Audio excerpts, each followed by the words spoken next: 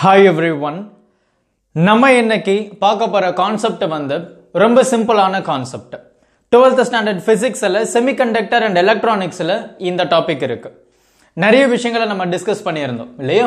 So இது transistor action இந்த common base mode இல்லையா? ஒரு டிரான்சிஸ்டர் வந்து காமன் பேஸ் மோடில் கனெக்ட் பண்ணியிருந்தோம் அப்படின்னா இதில் எந்த மாதிரியான விஷயங்கள் நடக்குது அப்படின்றது தான் ஸோ காமன் பேஸ் அப்படின்னு சொல்லும்போது பேஸை வந்து நம்ம கலெக்டருக்கும் எமிட்டருக்கும் காமனாக வச்சுருப்போம். ஸோ இதுதான் காமன் பேஸ் மோல்டு ஸோ பொதுவாக நம்ம டிரான்சிஸ்டர் எப்படி ஒர்க் ஆகுது? டிரான்சிஸ்டர் அப்படின்னா என்ன அப்படின்றத நம்ம டீட்டெயில்டாக பார்த்துருந்தோம்.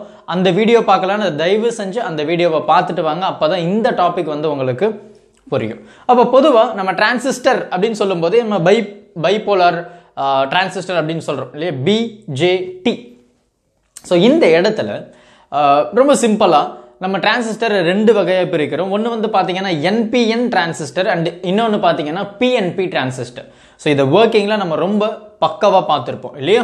ஸோ இந்த என்பிஎன் டிரான்சிஸ்டர் அப்படின்னு சொல்லும்போது எனக்கு இதில் நம்பர் ஆஃப் எலக்ட்ரான்ஸ் அதாவது எலக்ட்ரான்ஸ் வந்து ரொம்ப அதிகமாக இருக்கும். மெஜாரிட்டியாக எனக்கு எலக்ட்ரான்ஸ் தான் இருக்கும். பிஎன்பி அப்படின்னு நம்ம பார்க்கும்போது எனக்கு மெஜாரிட்டியாக அதில் ஹோல்ஸ் இருக்கும். பொதுவாகவே நம்ம பிஎன்பி டிரான்சிஸ்டர் நம்ம அந்த அளவுக்கு யூஸ் பண்ணுறது கிடையாது. ஸோ நிறைய அப்ளிகேஷன்ஸ் எல்லாமே பார்த்தீங்க அப்படின்னா இந்த என்பிஎன் டிரான்சிஸ்டரை பேஸ் பண்ணி தான். அப்போ அந்த மாதிரி ஒரு என்பிஎன் டிரான்சிஸ்டர் இப்போ நம்ம எடுப்போம்.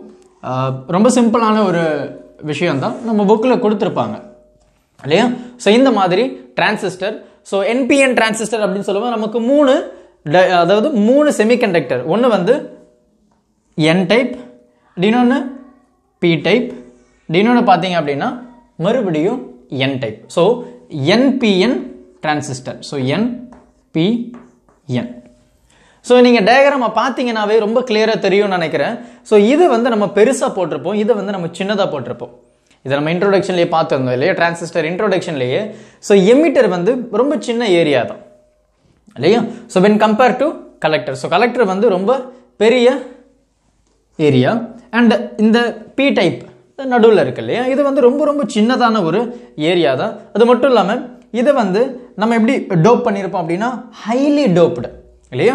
ஸோ எமிட்டரை நம்ம ஹைலி டோப்டு அதிகமாக டோப் பண்ணியிருப்போம் எலக்ட்ரான்ஸில் இது பார்த்தீங்கன்னா பி டைப் ஸோ இது வந்து ரொம்ப ரொம்ப ரொம்ப கம்மியாக தான் நம்ம டோப் பண்ணியிருப்போம் ஏன் அப்படின்னு பார்த்தீங்கன்னா இந்த பி டைப்பினுடைய லேயரு ரொம்ப கம்மி தான் ஸோ கம்மியான ஏரியாவில் நம்ம கம்மியாக இதை டோப் பண்ணியிருக்கோம் லைட்லி டோப்டு இந்த எண்ணெய் பார்த்தீங்க அப்படின்னா மீடியமாக நம்ம டோப் பண்ணியிருப்போம்.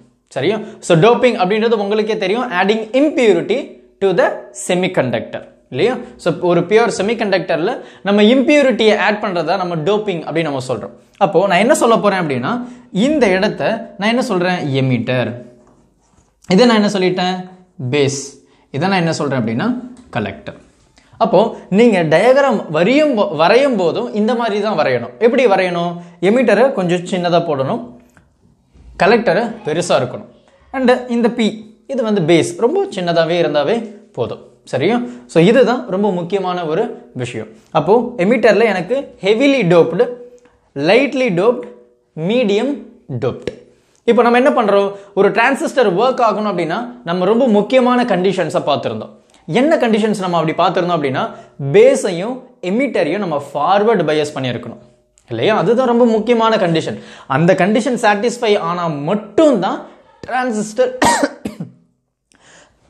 excuse me I'm really sorry அப்போனா மட்டும்தான் இந்த டிரான்சிஸ்டர் வந்து ஒர்க் ஆகும். இல்லையா? அப்படி இல்லைன்னா ஒர்க் ஆகாது. அப்போது நான் என்ன பண்ண போகிறேன் இந்த எமிட்டரையும் பேஸையும் நான் ஃபார்வர்ட் பயஸ் பண்ண போகிறேன் இந்த பேஸையும் இந்த கலெக்டரையும் ரிவர்ஸ் பயஸ் பண்ண போகிறேன் சரியா? ஸோ ஃபார்வர்ட் பயஸ் அப்படின்னு சொல்லும்போது உங்களுக்கு தெரியும். நெகட்டிவ் நெகட்டிவ் பாசிட்டிவ் பாசிட்டிவ் இல்லையா? அப்போ இந்த இடத்துல பார்த்தீங்கன்னா இதை நான் எப்படி பண்ணுறேன் நீங்களே பாருங்கள் forward bias and N type அப்படின்றது வி நோ தட் நெகட்டிவ் தான். ஏன்னா நம்பர் ஆஃப் எலக்ட்ரான்ஸ் வந்து மெஜாரிட்டி அப்போ நான் இதை ஃபார்வர்ட் பேஸ் பண்ணும்போது எனக்கு இந்த இடத்துல பாசிட்டிவ் நெகட்டிவ் இந்த இடத்துல பாசிட்டிவ் ஸோ இந்த பாசிட்டிவ் நான் எங்கே எடுத்துகிட்டு போகிறேன் அப்படின்னா இந்த பேஸுக்கு எடுத்துகிட்டு போகிறேன் ஸோ பேஸ் இங்கே பக்கத்தில் இப்படி வரைஞ்சிடுறேன். இந்த இடத்துல. சரியா? ஸோ பேஸுக்கு எடுத்துகிட்டு வந்தாச்சு. இப்போ பார்த்தீங்க அப்படின்னா இந்த எமிட்டரும் இந்த பேஸும் ஃபார்வர்டு பையஸ் எப்படி ஃபார்வர்டு பயஸ் எனக்கு என் அதாவது என் டைப்பில் பார்த்தீங்கன்னா எலக்ட்ரான் தான் அதிகம். ஸோ நெகட்டிவ் ஸோ இது நெகட்டிவ் ஸோ நெகட்டிவ் நெகட்டிவ் இந்த பி டைப்பில் பார்த்தீங்கன்னா பாசிட்டிவ் ஹோல்ஸ் தான் எனக்கு அதிகம் இன் கம்பேர் டு எலக்ட்ரான் அப்போ ஹோல்ஸ் பாசிட்டிவ் அண்ட் இதுவும் பாசிட்டிவ் புரியுதா? அப்போ என்ன ஆகுது இது இதுவும் நம்ம கரெக்டாக ஃபார்வர்டு பயஸ் பண்ணியாச்சு. அப்போ இது இப்போ எனக்கு டிரான்சிஸ்டர் ஒர்க் ஆகுமா அப்படின்னா ஒர்க் ஆகும் ஆனால் சரியா ஒர்க் ஆகாது. ஏன் ஒர்க் ஆகாது அப்படின்னா நம்ம இன்னமும் கம்ப்ளீஷன் பண்ணலை சர்க்கியூட்டை கம்ப்ளீட் பண்ணலை. அதுக்கு என்ன பண்ணணும்? இந்த பேஸையும் இந்த கலெக்டரையும் நம்ம ரிவர்ஸ் பயஸ் பண்ணணும். இல்லையா? அப்போ பேஸையும் கலெக்டரையும் நம்ம ரிவர்ஸ் பயஸ் பண்ணணும். ரிவர்ஸ் பயஸ் என்ன? ரெண்டுமே எனக்கு ஆப்போசிட்டில் இருக்கணும். இல்லையா? அதை தான் நம்ம ரிவர்ஸ் பயஸ் அப்படின்னு நம்ம சொல்லுவோம். அப்போ இந்த என் டைப் பார்த்தீங்க அப்படின்னா இட் இஸ் a நெகட்டிவ் ஏன்னா மெஜாரிட்டி எலக்ட்ரான் அப்போ இது எனக்கு இதை நான் ரிவர்ஸ் பயஸ் பண்ணணும் அப்படின்னு நான் என்ன பண்ணுவேன்? எனக்கு இந்த இடத்துல பாசிட்டிவை எடுத்துருவேன். சரியா? ஸோ எனக்கு எமிட்டரை கம்பேர் பண்ணும்போது கலெக்டரில் ஹை வோல்டேஜ் இருக்கணும். இதை மட்டும் ஞாபகம் வச்சுக்கோங்க. ஹை வோல்டேஜ் இருக்கணும். அப்போ என்ன ஆகுது? இந்த இடத்துல I'm going to write like this அப்போ என்ன ஆயிடுச்சு? இந்த என் டைப்பை நான் பாசிட்டிவில் கனெக்ட் பண்ணிட்டேன். இந்த பேஸை நான் நெகட்டிவில் கனெக்ட் பண்ணணும். அப்படியே ஆப்போசிட் அப்போ தான் இது வந்து ரிவர்ஸ் பயஸ் அப்படின்னு நம்ம சொல்கிறோம் இதை வந்து forward bias negative negative positive positive forward negative positive negative positive forward bias sorry reverse bias முடிஞ்சது. அப்போ இதில் போகக்கூடிய வோல்டேஜ் என்ன சார் அப்படின்னு பார்த்தீங்கன்னா நமக்கு ரொம்ப சிம்பிளாக தெரியுமே. இது போகக்கூடிய வோல்டேஜ் என்ன? பேஸுக்கும் பேஸுக்கும் இந்த எமிட்டருக்கும் போகக்கூடிய வோல்டேஜ் தான். ஸோ விபிஇ இது பார்த்தீங்கன்னா கலெக்டருக்கும் பேஸுக்கும் போகக்கூடிய வோல்டேஜ் விசிஇ கரெக்ட் கலெக்டருக்கும் பேஸுக்கும் அப்போ விசிபி சரியா? ஓகே ஸோ விசிபி கலெக்டருக்கும் பேஸுக்கும் போகக்கூடிய வோல்டேஜ் இதுதான். அப்போது இது ஃபார்வர்ட் இது ரிவர்ஸ் இப்போ எனக்கு டிரான்சிஸ்டர் ஒர்க் ஆக ஆரம்பிச்சிடுச்சு. இப்போ இந்த இடத்துல பார்த்தீங்கன்னா நமக்கு ரெண்டு ஜங்ஷன் இருக்கு. ஸோ ஒரு ஜங்ஷன் யார்கிட்ட அப்படின்னு பார்த்தீங்கன்னா இந்த எமிட்டருக்கும் இந்த பேஸுக்கும் இருக்கக்கூடிய இந்த ஜங்ஷன் இல்லையா? ஸோ இந்த ஜங்ஷன் எப்படி இருக்கு? நீங்களே சொல்லுங்க. ஃபார்வர்டு பயஸ் அப்போ ஃபார்வர்டு பயஸ் அப்படின்னு சொல்லும்போது இந்த இடத்துல டிப்ளிஷன் லேயர் எனக்கு கொஞ்சம் கொஞ்சமாக கொஞ்சம் கொஞ்சமாக குறைஞ்சிக்கிட்டே வரும். நம்ம பிஎன் ஜங்ஷன் கேரக்டரிஸ்டிக்ஸ் பார்த்துருந்தோம். Forward bias and reverse bias so உங்களுக்கு புரிஞ்சிடும் அப்போ எனக்கு என்ன ஆகுது? இந்த இடத்துல எனக்கு டிப்ளிஷன் லேயர் வந்து இந்த எமிட்டருக்கும் பேஸுக்கும் எனக்கு குறைஞ்சிக்கிட்டே வருது because it is a forward bias இல்லையா? ஏன்னா இது நெகட்டிவ் இது நெகட்டிவ் அப்போ என்ன ஆகுது? வில் ரிப்பல் அப்போ எலக்ட்ரான் இந்த பக்கம் தள்ள ட்ரை பண்ணுது. சரியா? இது ஒரு முக்கியமான ஒரு விஷயம். நல்லா ஞாபகம் வச்சுக்கோங்க. அண்ட் இந்த இடத்துல பார்த்தீங்க அப்படின்னா எனக்கு இந்த பேஸுக்கும் இந்த கலெக்டருக்கும் பார்த்தீங்கன்னா ரிவர்ஸ் பயஸ் எப்படி? ரிவர்ஸ் பயஸில் இருக்குது அப்போ இங்கே இருக்கக்கூடிய எலக்ட்ரானை இந்த பாசிட்டிவ் வந்து அட்ராக்ட் பண்ணிடும். இங்கே இருக்கக்கூடிய பாசிட்டிவை இந்த நெகட்டிவ் வந்து அட்ராக்ட் ஆகிடும் அப்போ என்ன ஆகும் அப்படின்னா இந்த இடத்துல டிப்ளீஷன் லேயர் இன்க்ரீசஸ் ரிவர்ஸ் பயஸில் இல்லையா? அப்போ இந்த இடத்துல எனக்கு டிப்ளீஷன் லேயர் இன்க்ரீஸ் ஆகுது. சரி அப்போ இது ஏன் இன்க்ரீஸ் ஆகுது? ஏன் டிக்ரீஸ் ஆகுது அப்படின்றது நமக்கு புரிஞ்சு போயிடுச்சு. இப்போ நம்ம என்ன பண்ண போறோம் அப்படின்னா நான் இந்த சப்ளை கொடுத்தாச்சு ஸோ டிப்ளேஷன் லேயர் எனக்கு கொஞ்சம் கொஞ்சமாக குறையுது பிகாஸ் ரிப்பல்ஷன் டேக் பிளேஸ் அப்போ என்ன ஆகும்? இங்கே இருக்கக்கூடிய அந்த மெஜாரிட்டி கெரியர் யாரு? எலக்ட்ரான் அப்போ இந்த electron will try to move to this side பேஸுக்கு move பண்ண ட்ரை பண்ணும். அப்போ பேஸ் இதை நம்ம ஒரு எக்ஸாம்பிள் சொல்லியிருப்பேன். என்ன சொல்லியிருப்பேன் அப்படின்னா எனக்கு இந்த இடத்துல ஹண்ட்ரட் இருக்குது அண்ட் இந்த இடத்துல எனக்கு ஃபிஃப்டி ஹோல்ஸ் இருக்குது hundred electron and fifty holes இருக்குது அப்போ என்ன ஆகும்? இந்த எலக்ட்ரான் எல்லாமே எனக்கு இந்த பி சைடில் வரும்போது அதாவது பேஸ் சைடில் வரும்போது இட் ரீகம்பைன்ஸ் அப்போ பாசிட்டிவும் நெகட்டிவும் கம்பைன் ஆகிடும் அதாவது எலக்ட்ரானும் ஹோல்ஸும் கம்பைன் ஆகிட்ட பிறகு மிச்சம் எனக்கு எவ்வளோ இருக்குது ஃபிஃப்டி இருக்குது இந்த எக்ஸாம்பிள் நான் கண்டினியூஸாக யூஸ் பண்ணியிருப்பேன் அதான் I'm using the same example இல்லையா? அப்போ எனக்கு இந்த இடத்துல எனக்கு ஃபிஃப்டி எக்ஸஸாக இருக்குது அந்த ஃபிஃப்டி எலக்ட்ரான் என்ன பண்ணும் அப்படின்னா இந்த இடத்துல கம்பைன் பண்ணவே முடியாது.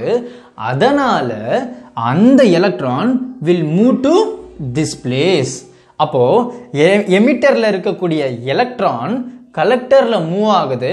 யார் வழியாக மூவ் ஆகுற அப்படின்னா பேஸ் வழியாக புரியுதா? அப்போ எனக்கு இங்கே ஹண்ட்ரட் எலக்ட்ரான் இருக்கு? ஐம் சேயிங் ஃபார் எக்ஸாம்பிள் அப்போ ஹண்ட்ரட் எலக்ட்ரான் இருக்குது எனக்கு இங்கே ஃபிஃப்டி ஹோல்ஸ் இருக்குது ஏன்னா இது வந்து லைட்லி டோப்டு இல்லையா? அப்போ இது heavily doped heavily doped lightly doped அப்போ என்ன ஆகும்? எனக்கு ஃபிஃப்டி ஹோல்ஸ் இருக்குது எனக்கு இங்கே ஹண்ட்ரட் எலக்ட்ரான் இருக்குது அப்போ இந்த ஃபிஃப்டி எலக்ட்ரான் இந்த ஃபிஃப்டி ஹோல்ஸோட கம்பைன் பண்ணிவிட்டு மிச்சம் இருக்கக்கூடிய அந்த ஃபிஃப்டி எலக்ட்ரானை வந்து கலெக்டரில் மூவ் ஆகிடுச்சு சரி இது ரொம்ப முக்கியமான ஒரு விஷயம். அப்போ என்ன ஆகுது? இந்த கலெக்டரில் போயிட்ட பிறகு எனக்கு இங்கே எலக்ட்ரான் அதிகமாகிடுச்சு ஸோ இது பார்த்தீங்கன்னா ரிவர்ஸ் பயஸ் அப்போ இந்த எலக்ட்ரானும் இந்த பாசிட்டிவும் வில் அட்ராக்ட் அப்போது எனக்கு எலக்ட்ரான் இப்படி மூவ் ஆகிடுச்சு அப்போ இந்த இடத்துல according to conventional current second சாப்டரில் நம்ம பார்த்தோம்.